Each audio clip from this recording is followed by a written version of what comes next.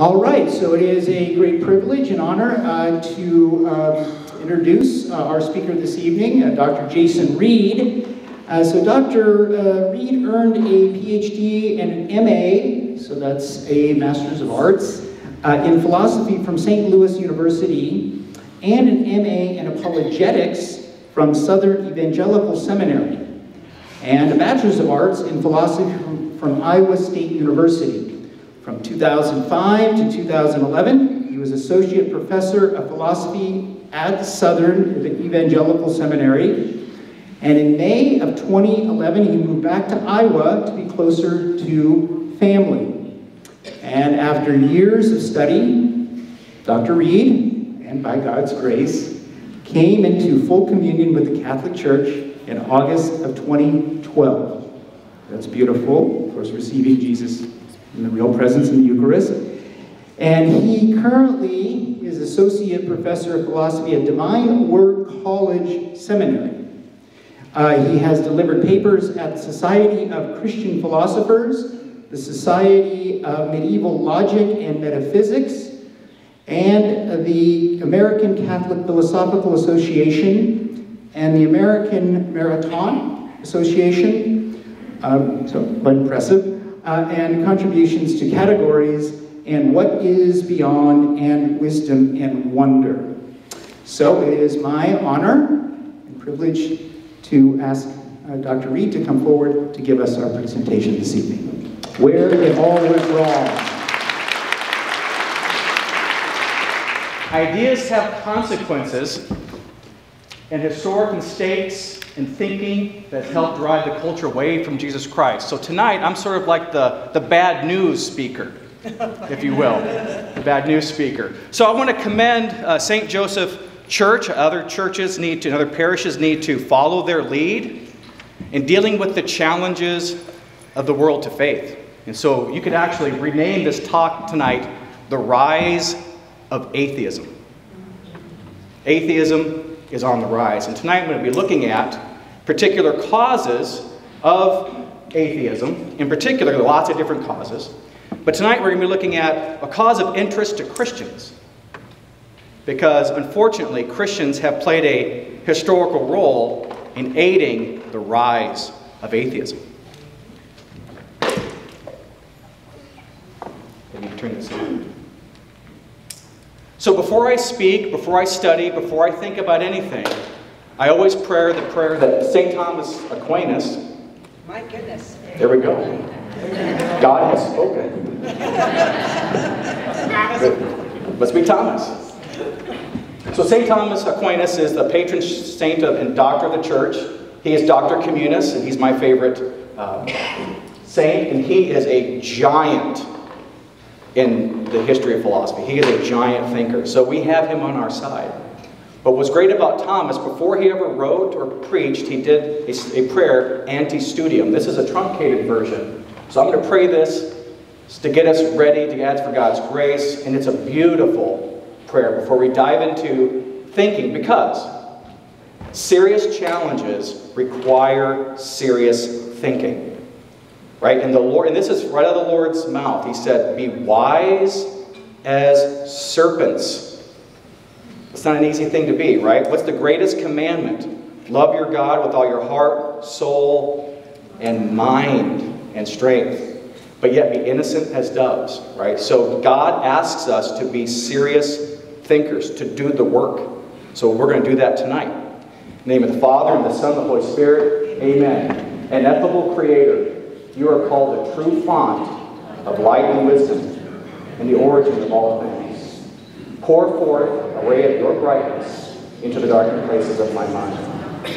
Disperse from my soul the twofold darkness into which I was born, sin and ignorance. Grant me keenness of mind, capacity to remember, skill in learning, insight to interpret, and eloquence of my speech. May you guide the beginning of my study direct its progress, and bring it to completion through Christ our Lord. Amen. St. Thomas Aquinas, in the name of the Father, and the Son, and the Holy Spirit. Amen. Amen. That's a good way to start, eh? Yeah. Very good. That's what we say in Iowa, is eh? That's the way it is, I guess. So, to get at the challenge of atheism, we have to learn some logic, brief logic, and we have to learn logic beginning with the scripture. This is 2 Corinthians 10:35, and in this context, Paul is talking about spiritual warfare. Spiritual warfare. And there's got a certain kind of spiritual warfare that's philosophical. Here's the Lord, here's Paul's words. Indeed, we live as human beings, but we do not wage war according to human standards. For the weapons of our warfare are not merely human, but they have divine power to destroy strongholds. So there's that strongholds. What kind of strongholds do we need to fight? Arguments. Arguments. We destroy arguments. And every proud obstacle raised up against what? The knowledge of God. There are arguments whose conclusions are obstacles to the knowledge of God. And we're called to do what with these arguments? Re- kind of just shake their hand, get along, annihilate. Now, annihilate arguments, not people. Right? Arguments, ideas. So we can what? We can take every thought captive to obey Christ. So we need to go after arguments. That's what we're gonna we're gonna go over the arguments tonight, and then the rest of this year you'll be tearing down those arguments. So what are these arguments? Well, how spiritual warfare works with arguments, there's a logical principle. And I'll give you a, a personal example here in a moment. One of the aspects of spiritual warfare is philosophical. They are ideas that stand between people and God. How so? Well, it is a law of logic for any two contrary propositions. If one is true, the other has to be what? False. Must be, logically. So if our culture accepts certain propositions that are contrary, the faith logically must be rejected. And that's what's happening, where there are certain ideas that are embraced by Christians, not all Christians, but a significant number, that have caused this uh, block between knowledge of God and these ideas. So here's my personal story of how this worked. So that, as Father mentioned, I'm a convert to the church against my will. I wasn't crazy about being Catholic.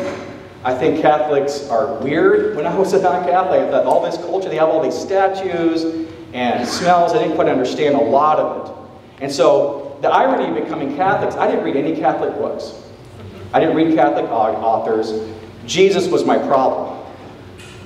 And I was in my office one time at the seminary, and I'm thinking through some things, and I go talk to my assistant, and I said, So Catholics really believe you have to eat Jesus? He opened up his Bible and read John 6. Closed the book and went back to greater. If we accept the truth of something, we have to reject its opposite. So here was, here was the argument that was set up against me in the Catholic Church, actually. The first premise was Jesus is God, whatever Jesus teaches is true. We accept that, true premise. The second premise is one that's tricky. Jesus teaches that unless I eat his flesh and drink his blood, I do not have eternal life. I do not have life within me. So what follows? Logically, inevitably,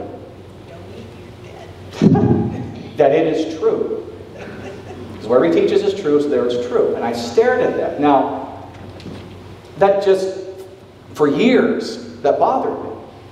Why? Because, and this is where the Catholic Church is hiding in plain sight. Whatever contradicts that, whatever is not uh, opposed to that, isn't telling the whole truth. So here was what I was thinking. Right? If, if I accepted the truth of the real presence, I was going to have to be converted. I was going to have to change religions, in a sense. I was, going to have to, going to have to become officiator on Fridays during Lent, and that was coming. Actually, I don't mind that. That's actually a good reason to convert if you got a good, if you got a good fish trap. Amen? That's a Baptist thing. Amen. Right? Then I must also believe that those branches of Christianity that do not believe in it are wrong on that point. So that's how arguments work. Right? They are, in a sense, philosophy is dramatic. Arguments are dramatic because it's a story, it's a journey, and they don't mess around and they change the way you think. Now, so what can happen to me being converted to becoming Catholic can help people deconvert. People leave if you accept certain ideas. So, for example, if I believe there are miracles, no miracles, thank you, then what can I not reasonably believe in? Resurrection. Resurrection. And who teaches that? The Bible teaches that. Paul in chapter 15 of 1 Corinthians, if God, if Jesus isn't raised, if there's no resurrection, should you be Christians? That's the law of logic, right? There is an incompatibility between denying the resurrection and trying to be Christian. Of course, then he says, of course he's been raised. And therefore we have all the hope. Okay? If he's not raised and having faith in him is pathetic and sad. That's, that's Paul's words. But he's not. Right? He's not dead. He has been raised, and therefore the same logic applies. So tonight we're going to look at the major philosophical ideas behind today's unbelief in God, Christ, and his church. We're going to do some philosophy. And So we're going to look at the agnosticism of Immanuel Kant. If anything get out of this, you've got to learn the agnosticism of Kant. And it's easy, right? You can't know. wah, wah. Make sure that gets on the tape. You know what happens? If you're doing promos, that's going to be on there, right? You can't know, right? You can't know. That's agnostic, right? Well, then that leads to something. That leads to a mistake between faith and reason. Kant is going to separate faith from reason, and that separation has led to the rise of atheism, especially amongst the, the youth. So let's look at some worldviews first. Well, first, before we get to what agnostic is, people think agnostics are, you know, like atheists. I, sadly, most Christians today are agnostics. I, I teach in. I've taught high school, uh, Catholic high school, elementary. Um, I love teaching the kids. They always ask about angels. Always ask about angels.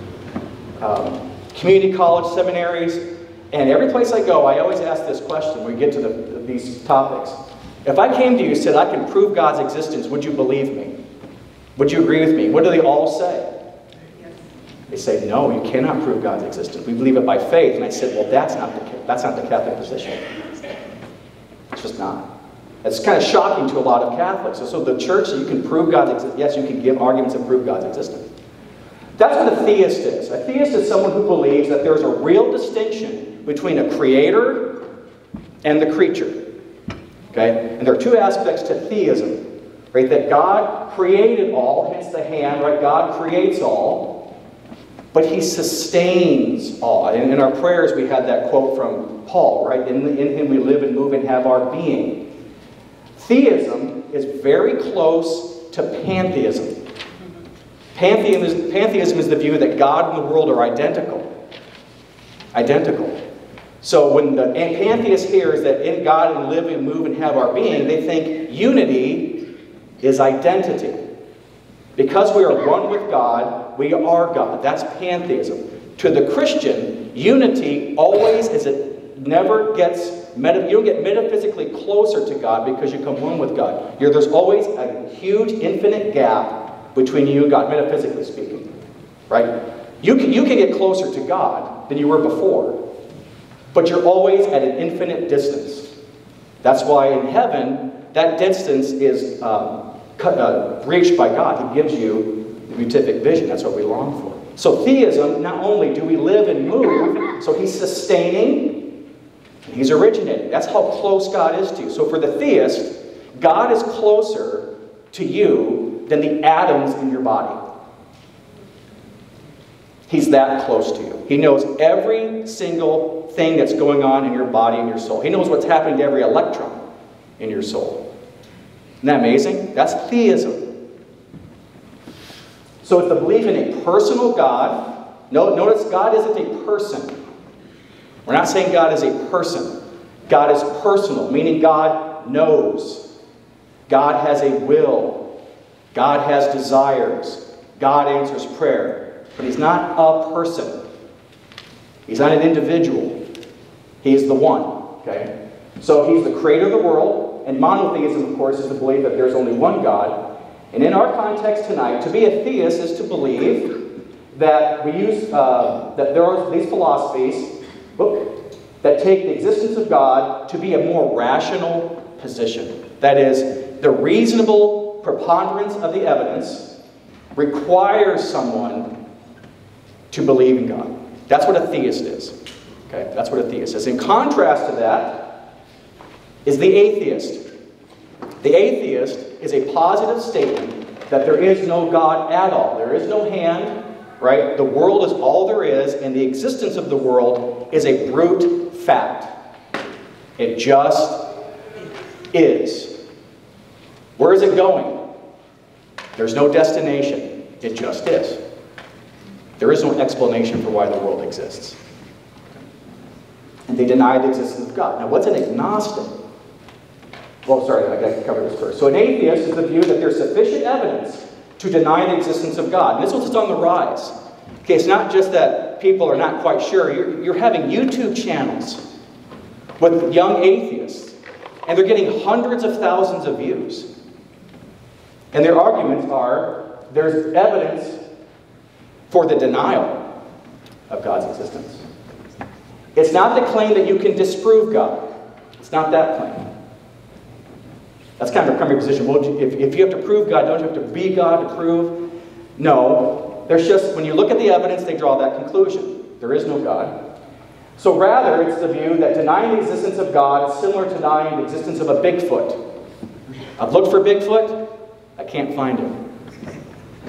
I looked for the Loch Ness Monster, can't find him. And if you're, for those of you who are into physics, I've looked for the ether, and then Einstein got rid of the ether, right? There's just no evidence for this thing. So an atheist is like that.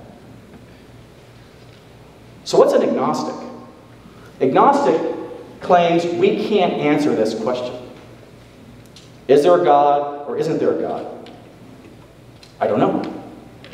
Now that doesn't mean you don't believe, right? Too oftentimes Christians say, because I can't prove or disprove it, but I'm going to believe anyway.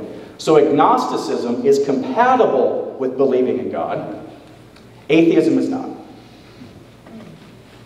So atheism disagrees with both us and the theists. That's the atheists. I love atheists because they get riled up about God's existence. I mean, they, they want to debate it. Agnostics don't want to debate it. They don't think you can. Here's their view. There is no sufficient evidence for either believing or disbelieving. As we're going to see, this is going to create a two-tier way of truth. Right? There are truths that you believe but you can't disprove, and there are truths that you can believe, and they're going to be different. So he disagrees with both, uh, both of them because agnosticism denies the question of God's existence can be answered, and I should add that's qualifier by reason. By reason.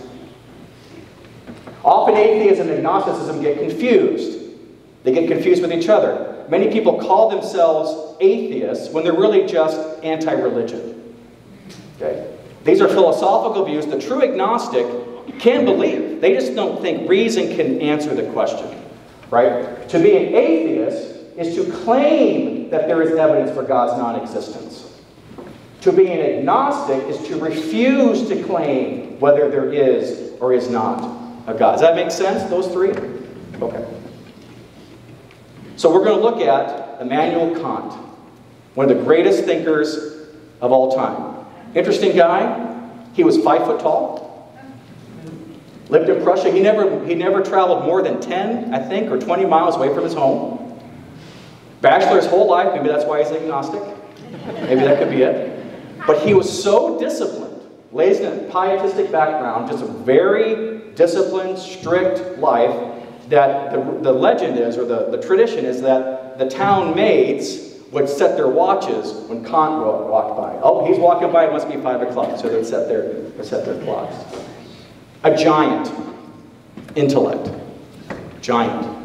Uh, pietistic background, so he was a, very much an admirer of faith, but pietism stressed the heart, stressed feeling, stressed the encounter with God more than the mind. And he was a great defender of Newton. Vis a vis, he's set to answer the, the skepticism of David Hume. And he's one of the leading agnostics in the history of philosophy and a believer. He believed that God existed, ironically. So for Kant's theory, this I show this in my philosophy classes. Kant is a transcendental idealist, yet a critical idealist. So here's what Kant thinks, and I'm going to explain these terms to you. So imagine there's a world out there, the real world. You've heard this question before, right? If I'm not out there in the forest and the tree falls, does it make a sound? Okay? Kant's answer is going to be, I can't no. I can't know. Um, if you've ever watched Jurassic Park, right, there's the chaos theory theorist, and he's, he, he criticizes the Jurassic Park experiment because you can't, you can, one cannot analyze something without changing it. Okay, so he's, so the, they've got the, the scientists there. We're trying to look at the dinosaurs in their natural habitat. And with the chaos theory, says once you step in to observe, what have you done? You've changed it. That's kind of like Kant. Okay, for Kant, when you observe something, when you look at something, when you try to understand it with your mind, what have you done to it? You've changed it. Okay, you've changed it. How have you changed it? Well, this is going to try to explain that. So there's a noumenal world out there. That's his, that's his word for the real world independent of my mind. And in the noumenal world, that's where God exists. That's where the soul exists. Where I just think about what the Father's talking tonight about the soul. Well, Kant would say that's a noumenal reality. You, science can't touch it. You can't observe it. That's noumenal. Free will, values, that's a noumenal reality. In terms of what we can see, we see the phenomenal world. And for Kant, we have our categories of mind, and we have space and time. And when I observe an object, my understanding is making it so that I can grasp it. So that would be the world of the scientist. So the phenomenal world is a world that I exist inside my own mind. And the noumenal world's out there. So our minds impose on objects categories so that I can understand them. Now, what was, what was reality before I looked at it? I can't. No. I don't know what's out there. And so I can't make an inference. This is important. I can't argue from this one to that one. When, in, when I'm in classes and students say, oh, I don't see what the big deal is about that, I said, I can turn you, I can turn you into an atheist in like 10 seconds. Of course, students say, prove it. I said, do you, do you believe you have a soul? You guys believe you have a soul? Where is it? Where is it? Can you point to it?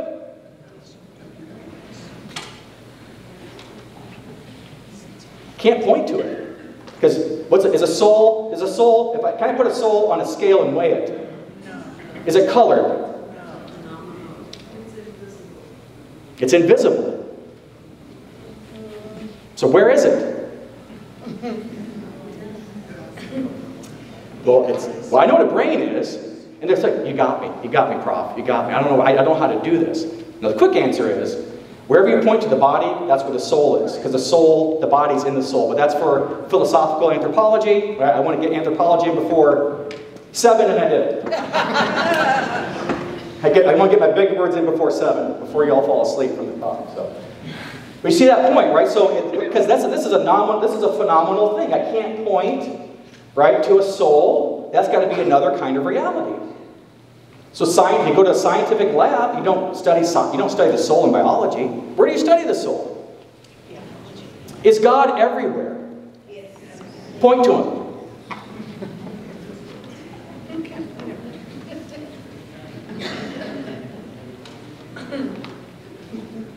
Can you do that?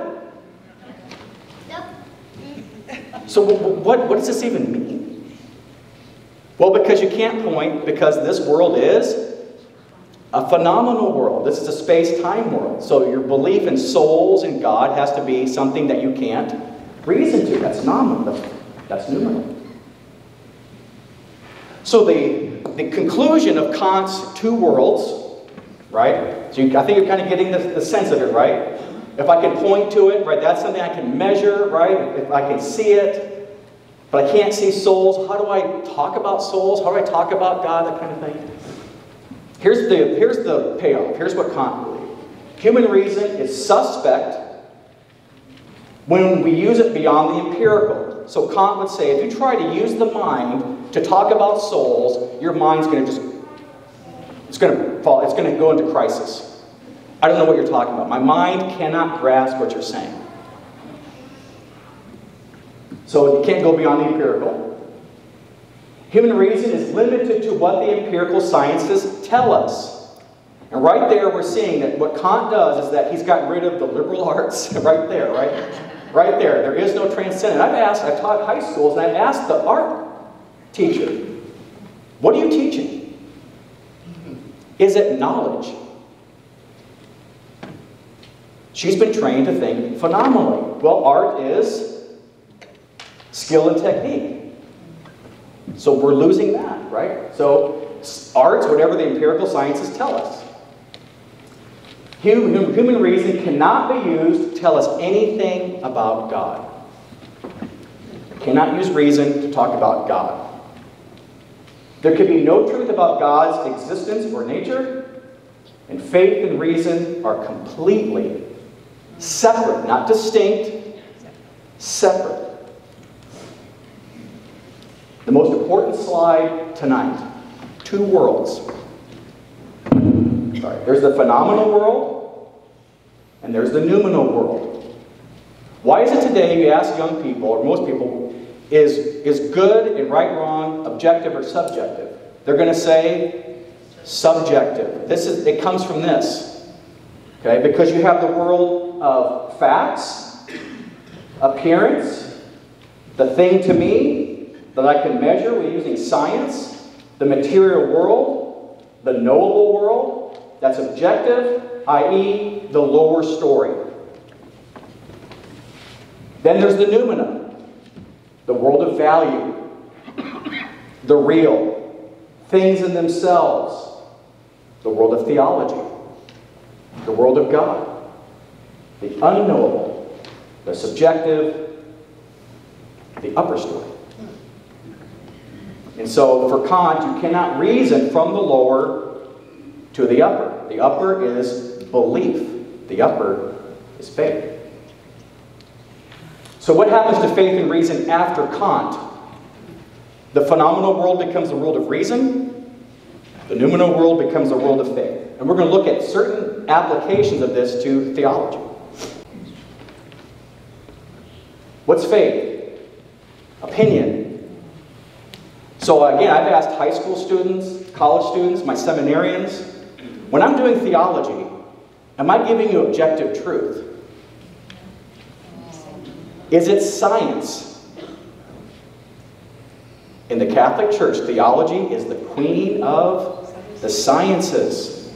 It's an actual science. Like, what? Yeah, you see how, how things have digressed, right? It's the inner world, it's a private world, it's the emotional world. I mean, you see how, how are churches trying to get people into the pews?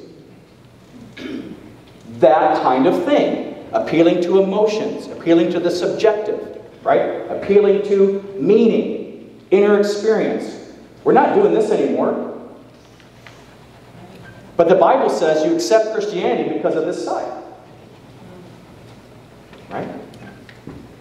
So it's just interesting, right, that this is happening. That these are completely separate. Feeling subjective, this is religion is, and it's true for me. Christianity is true for me. Jesus is my Savior. Now, here's where we start to see the incompatibility. This is one of the greatest verses in, in all of Scripture for the life of the mind. In, in Wisdom, ch chapter 13, he's in a sense agreeing with Kant. If you look for God amongst the things you can see, you remain a fool. God is not the largest thing around. God is not the biggest being that exists. God is not the greatest. He is the I am. He is the one. That's a different, that's a different thing, right? He is the one. So here's what the scripture says. For all people who were ignorant of God were foolish by nature. And what makes them foolish? Well, he's going to tell us, right? They were unable to do something from the good things that are seen to, to know something.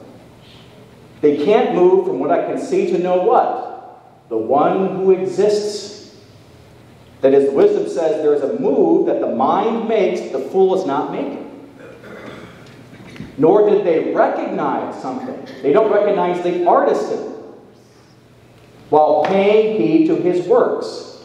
But they suppose that either fire or wind, whatever is the largest, most powerful thing, right? Or swift air, like a tornado, right? I mean, you ever been, you ever heard there's like a tornado or something? And what do we want to do? We want to go see it.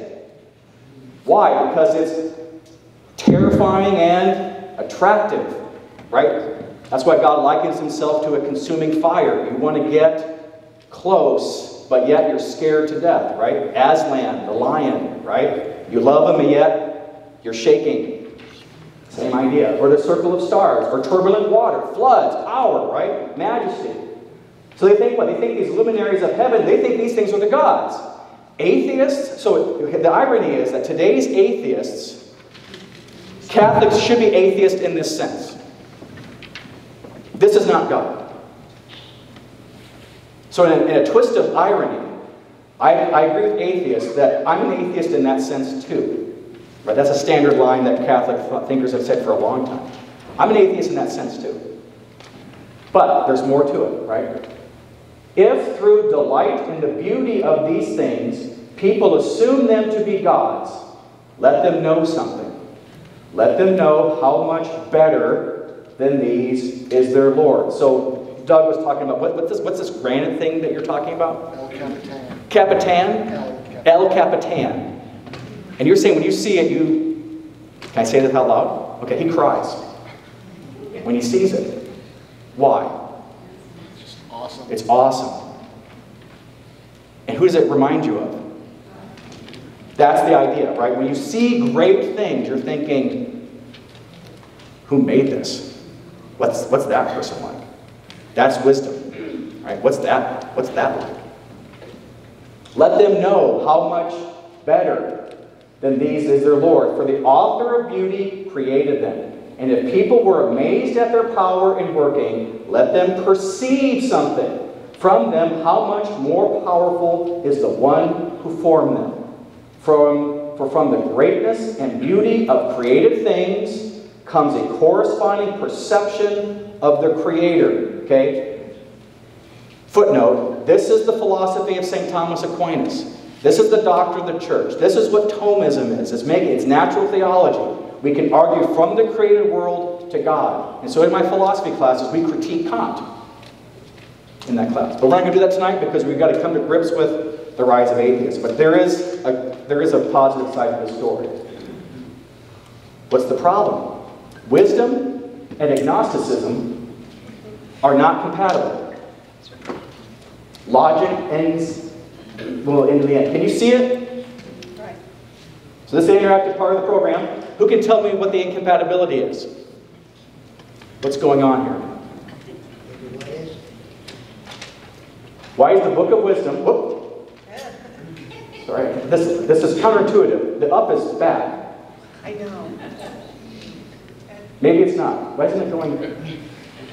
You're going forward. Yeah. Pushing the buttons.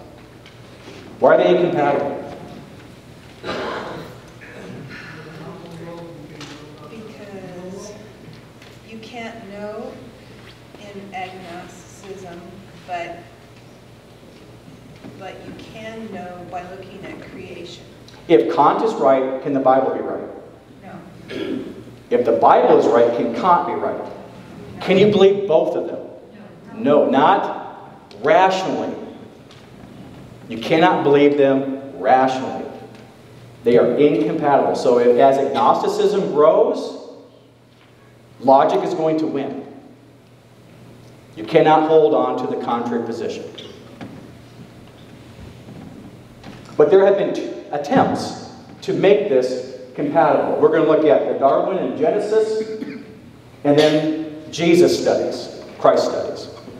So, Darwinian evolution, you hear this a lot Darwin and evolution and the Bible do not contradict. Why? Well, because evolution is what world? It's a scientific world, right? Evolution is true of the phenomenal world. There's no design. There's no need of a God hypothesis on the reason side.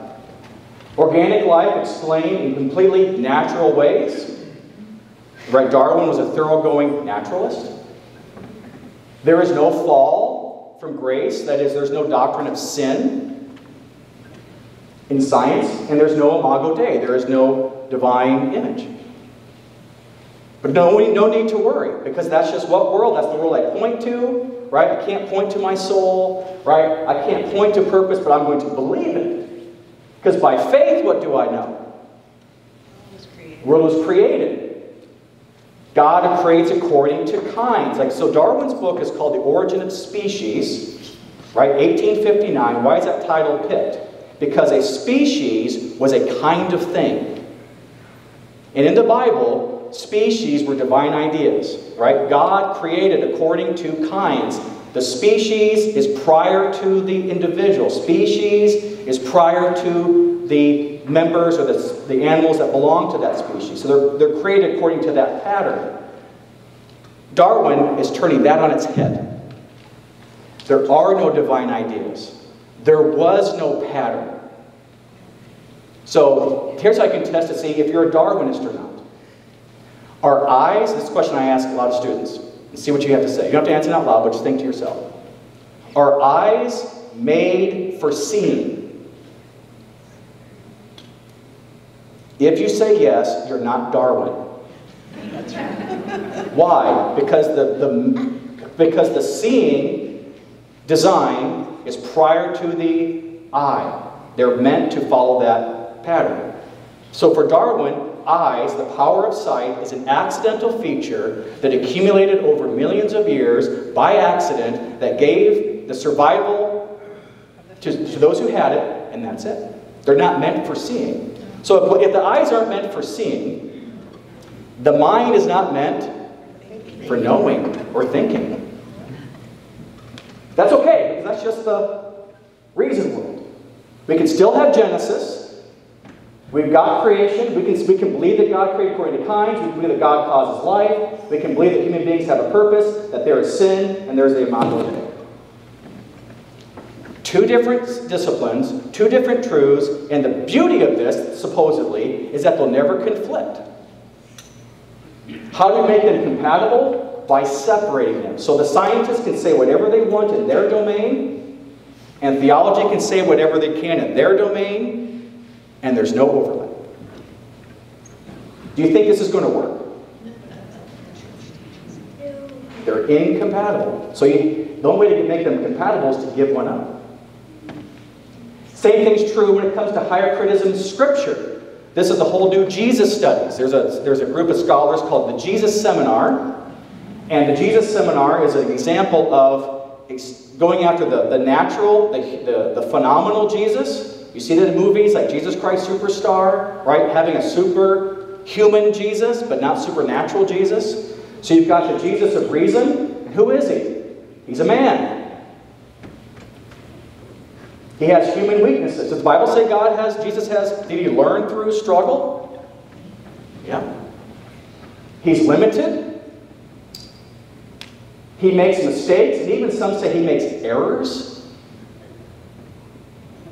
I had a, had a, a, a fellow colleague at one school say, oh yeah, Jesus makes lots of mistakes because he's what? Well, he's, he's human.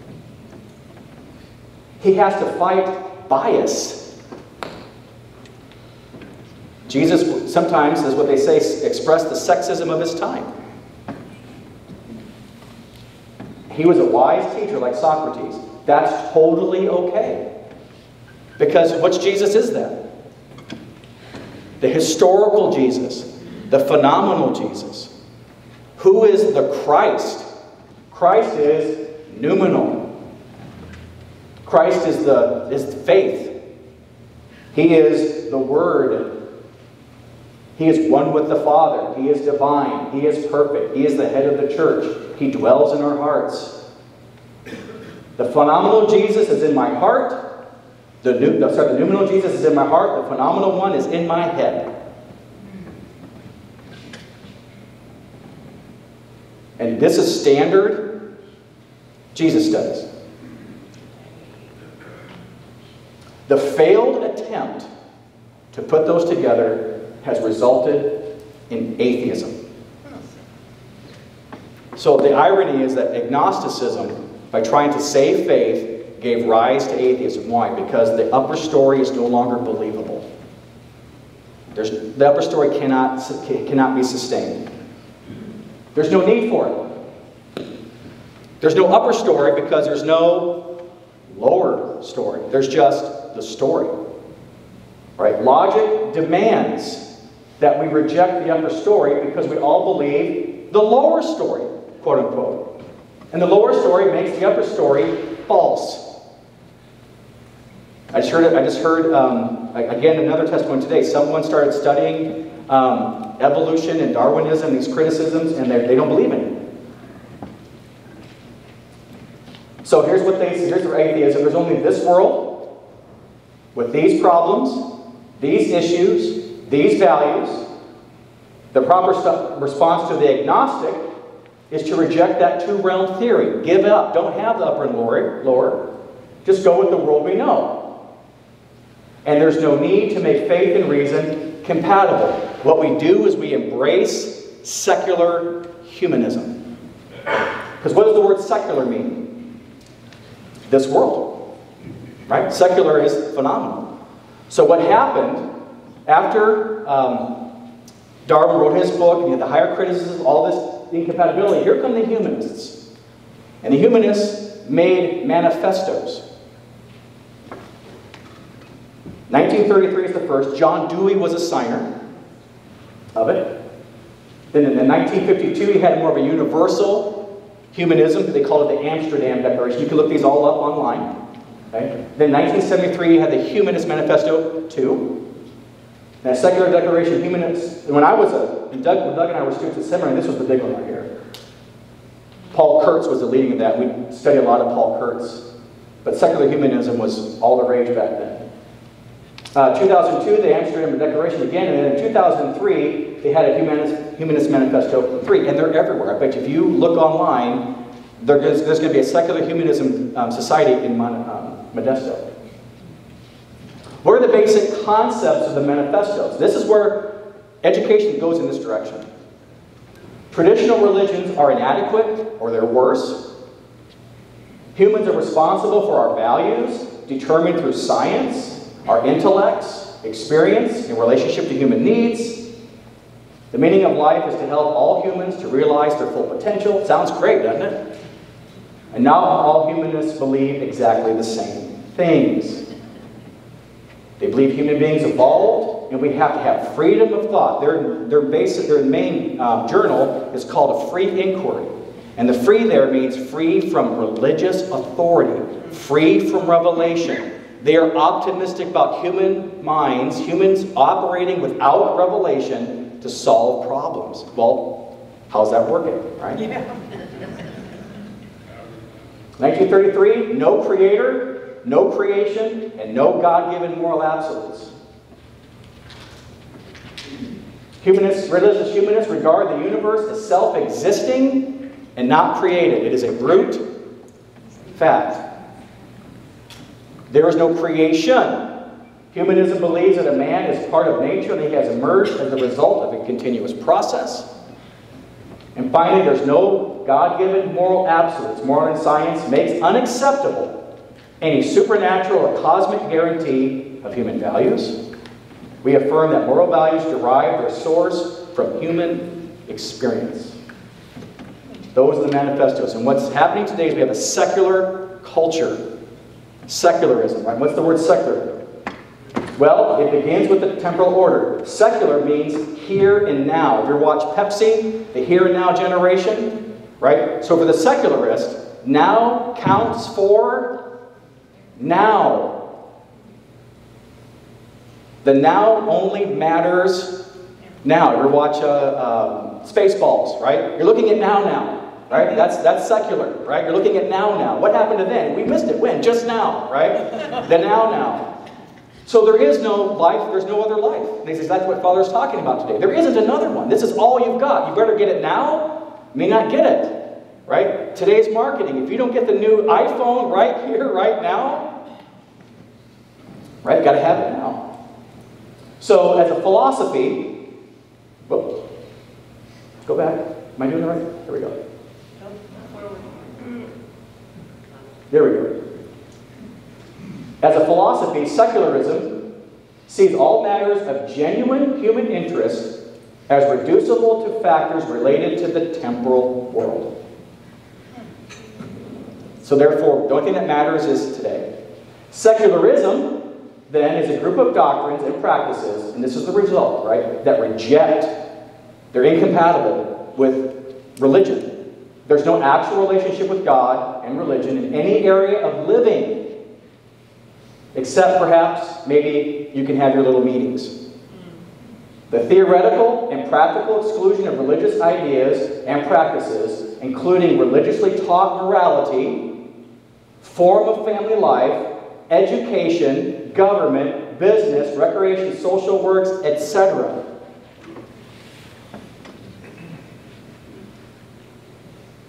So this has led to a complete misunderstanding of faith and reason. I hear, um, and I have to, when I hear even my own students talk about trying to make church more attractive, trying to get people in the door, trying to, you know, how do we win hearts and minds? So they're thinking about marketing strategies.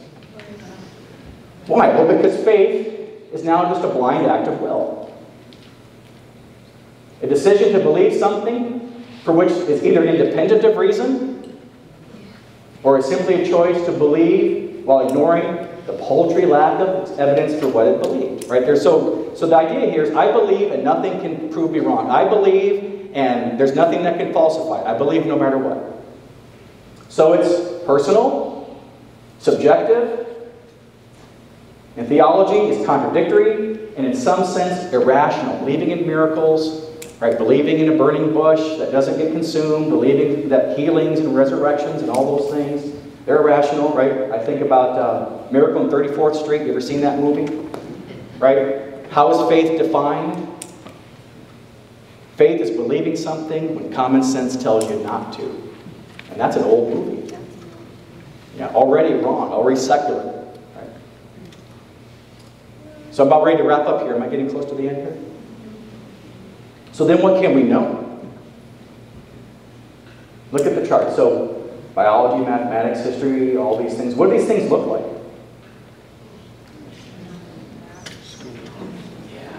What do they look like? School curriculum. Uh, biz, uh, um, college majors. Where's God?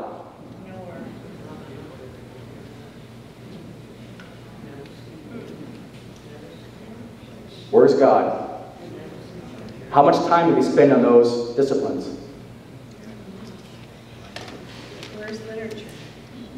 It's going away. How about theology? The Bible, God, the supernatural, the transcendent, beauty, goodness, absolutes. Philosophy is having a hard time making a case now, too. Philosophy's dying because it's all ethics now. It's all about business ethics and environmental ethics, gender studies, all those things. That's what, if you go online, there's something called Jobs for Philosophers. We actually do want to work, apparently. I told my kids that when I became a philosophy professor, I did that because if I'm laying on the couch and my eyes are closed, they can't tell if I'm working or napping. And that's true. I could be actually thinking, don't bother dad. What's he doing? We don't know what he's doing, but maybe working. Maybe working. So what are we doing here? I know what we'll do. We'll, we'll hire a religious ed teacher to have something on Wednesday nights. We'll have, we'll have a youth group and have retreats, which are they're fine things. Yeah. But can it compete?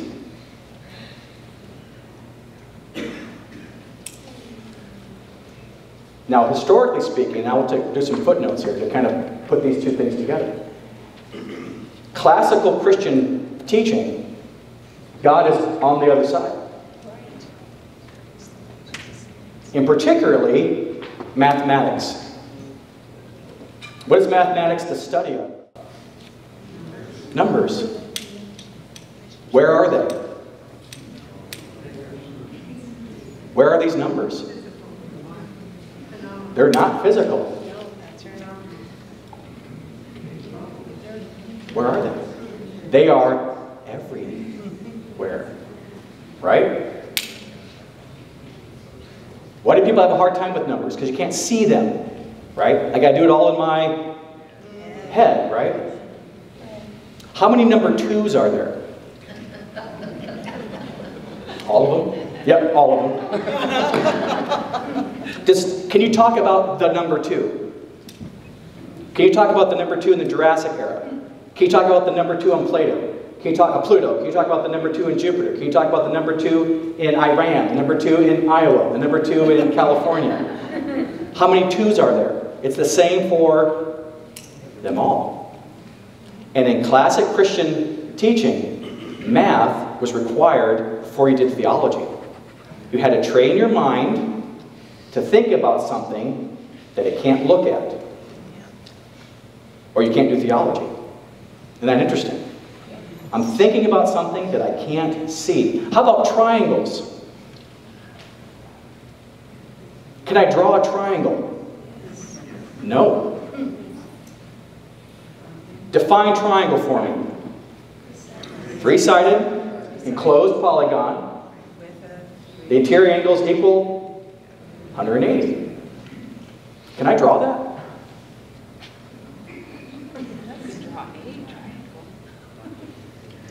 How thick is the line of a triangle?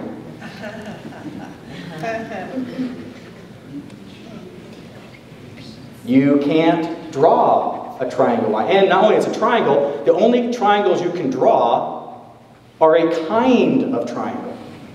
okay. Right? Equilateral triangle, scalene. Uh, You didn't think you were going to have math class tonight, did you? Isosceles. Yeah, but what do they all have in common? The three, three sides.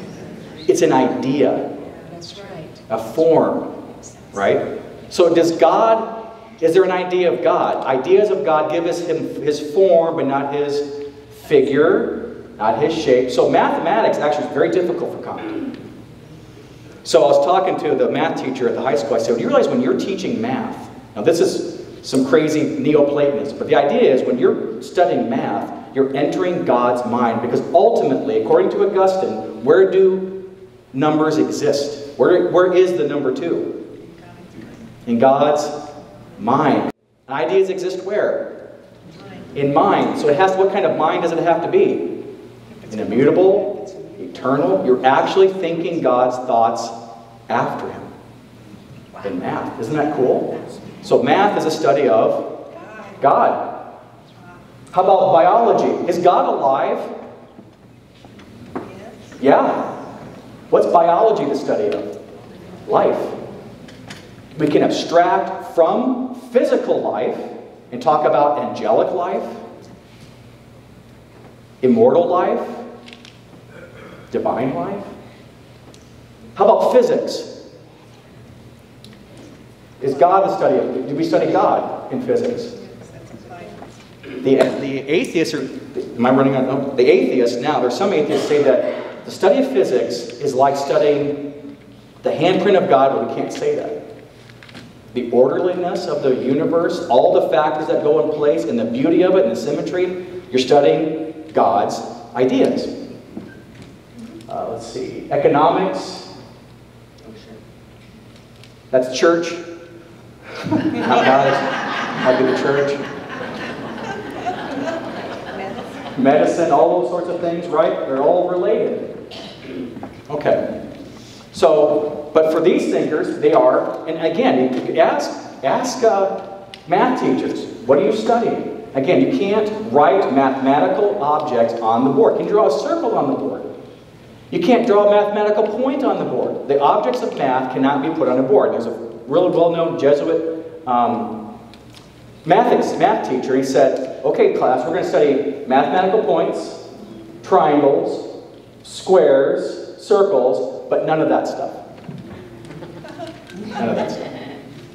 Amazing, right? Again, it's training the mind to think about something that it can't see, but yet it can think about it. You got it, you can still think. So we were in the car, me and my daughter and I were coming back from church, and she said, I don't understand God, Dad, because I can't see him. I can't touch him. I don't understand God. This makes no sense to me.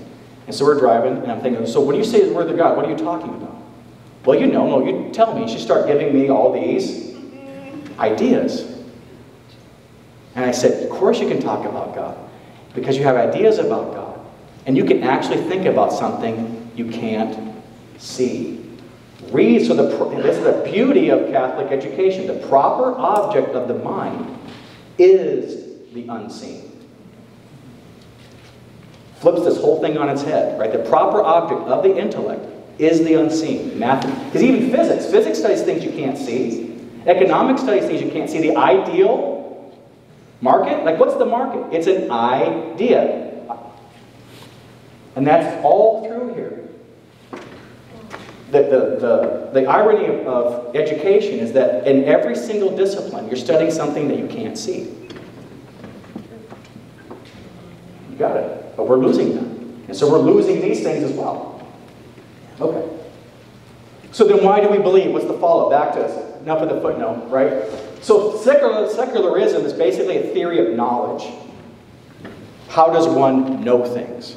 Observation, scientific method, induction, experience, that kind of thing. And it is the dominant theory of knowledge in virtually all levels of learning. Is any wonder why so many are no longer believing? Here's a question to think, ponder. Are we teaching people to be atheists in our schools and parishes? Are we doing that?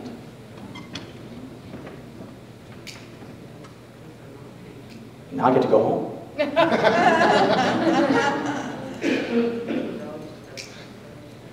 Are we?